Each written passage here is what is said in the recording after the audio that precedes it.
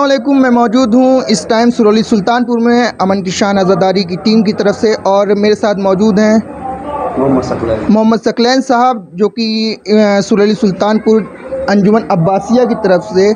अंजुमन अब्बासिया के सेक्रेटरी और सदर हैं। हम इनसे पूछना चाहेंगे कि नौजवानों को क्या पैगाम देना चाहते हैं? शब्बेदारी की तरफ़ से या और अपने आलिमातों की तरफ़ से? किस तरह से नौजवानों को क्या पैगाम देना चाहते हैं? इमाम हुसैन ने शहादत दी है।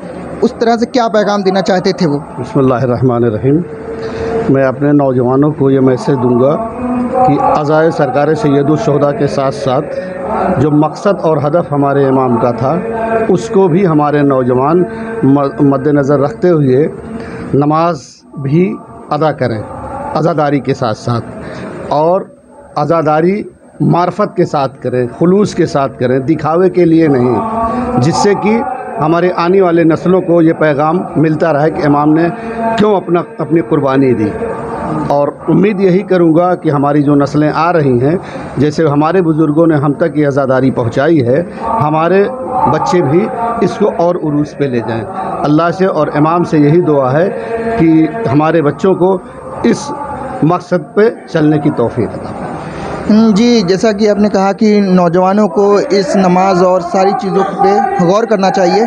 मेरा एक सवाल है कि इमाम हुसैन हिंद आने की क्यों इतना ज़्यादा अपनी दिल सी, दिली ख्वाहिश ज़ाहिर की है?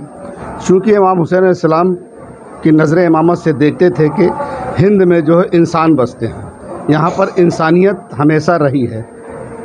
मौला की निगाहें ये देख रही थी कि हिंदुस्तान जो है हमारे लिए अच्छा मुल्क बेहतर होगा। इसलिए इमाम ने ख्वाहिश की थी कि इंसान यहाँ बसते हैं हैवान नहीं बसते हैं। जैसा कि हमारे साथ मौजूद हैं अंजुमन के सेक्रेटरी और सदर साहब जिन्होंने बहुत अच्छी बात कही और मेरे सवाल का भी सही सही बिल्कुल सही जवाब दिया। अ, इस टाइम में मौजूद है सुरली सुल्तानपुर में। अस्सलाम वालेकुम शुक्रिया।